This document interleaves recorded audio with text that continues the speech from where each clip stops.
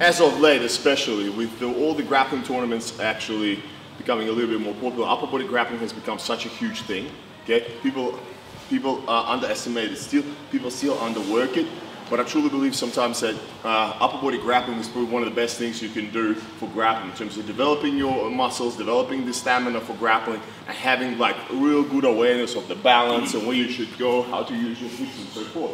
Sometimes it does look like dancing. For him, it probably is more like dancing than anything. But for us, we're trying to look for our angles, right? So we're offsetting, offsetting here, getting the movement. So once you're stiff like that and you're moving in, intact with your opponent, you're losing a lot of opportunities for a takedown, or you're stiffing out. You, if you're stiff and not moving, moving how you should be, then you're uh, losing a lot of energy. You're wasting a lot of energy. So what I want us to do today is one of the most basic, but one of the most fundamental Greco-Roman setups that we've got. So I've got the underhook on this side and I'm controlling the wrist. So maybe we're fighting for the wrist, right? I'm not necessarily straight in control. Hunter might be the one doing that. I might be able to swim the wrist inside and I'm going to sort of try, start moving in inside and I'm going to start step, stepping in closer to him. Here.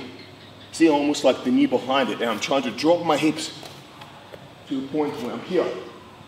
See, when I'm under him, I've got my, I've got my gable grip around him and I've got my legs engaged. I don't want to be doing this because I'll be lifting with my back.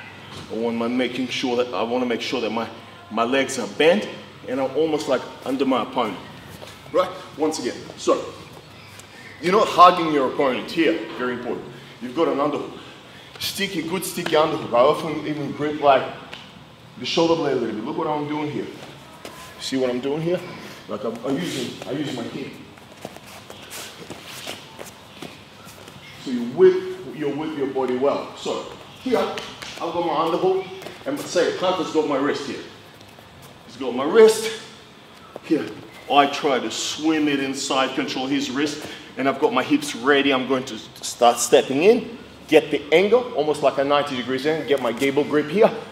As a wrestler, you would lift him and go over your shoulder. Here we don't really need it, we kind of really turn and make sure we end up on top. I'm going to talk a lot more about the landing part, but what I want you, want you guys to be able to do is to be able to synchronize your underhook and wrist controls so you can get a better angle on the attack. So, underhook here, do not relax your arm here. Underhook has to be active at all times. If your underhook is not corresponding, uh, if, sorry, if your hip movement is not corresponding with to what you want to do with your underhook, it's your arm, instead of having an underhook, it's just your arm being stuck, right? One of my important things I've noticed, I've, I've, I've known it before, but on the higher level I saw it with Jon Jones with Glover Teixeira, when Glover had the lazy underhook here, and Jon Jones went bang, into his shoulder, so he could no longer fight for four rounds. He was with one arm, so, right? So, what I'm trying to say, guys, here, if you've got an underhook, make sure you use it. If you don't use it, it's going to be used against you in the form of a whizzer, right? Something we're going to cover today, the whizzer as well. But I'm here, my butt's slightly up. We're fighting here a lot. So Hunter's got me here. He's controlling my wrist. I've got to get out. So I'm going to swim, starting with my pinky. Get my pinky inside, C grip, you don't even need to grip. All you do is just here, just a little bit of a C grip, boom. You see, I've got a different type of grip here, so I don't want to try to catch the one that I like. I've got to need to get the one that I need. Okay, so here.